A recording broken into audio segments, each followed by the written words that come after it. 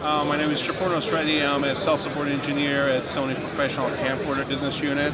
Today we are here at NAB East uh, showcasing some of our latest handy camcorders and professional camcorder lineup. The first in the family is part of the Handycam camcorder line is a 4K 1-inch sensor with a super fast and precise and accurate autofocus system that we implemented from our Alpha line. Now it's on our 1-inch video camcorder system. When you go off in the family, it's part of the NX Cam family. It's our NX80 camcorder that has the same sensor, the same autofocus factor, but it adds as far as the codec and some of the professional features like an XLR with a handle and uh, an MI shoe for uh, wireless audio system and lighting and other features that generally professional cameras have. Also, what's addition in here, they have timecode capability. So there's an option for a new feature called timecode link that works with NX80 or the one above it, the XDCAM family, which is the Z90.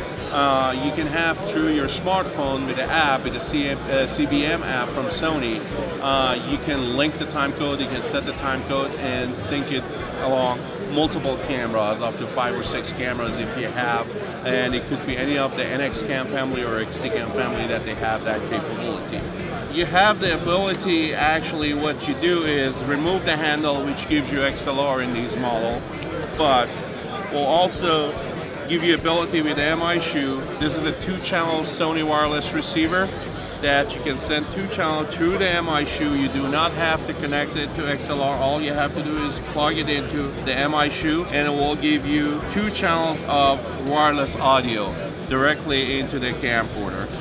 And this way you can have a smaller platform on the camera, but also you have ability to send in two channels of wireless through the wireless audio system. They have LANC uh, functionality, so you can have multi-camera uh, remote with a LANC RM30BP controller uh, that you can have a simple live solution, multiple cameras again, control wired, or as I mentioned with wireless controls uh, through this camera. Now when you go up in the line, obviously the IOs are what separates this camera and some of the more professional capabilities like the Z90 has the SDI output as well as ability not only to stream but also FTP files and uh, work with our XDCAM Air functions and some of our uh, other workflows.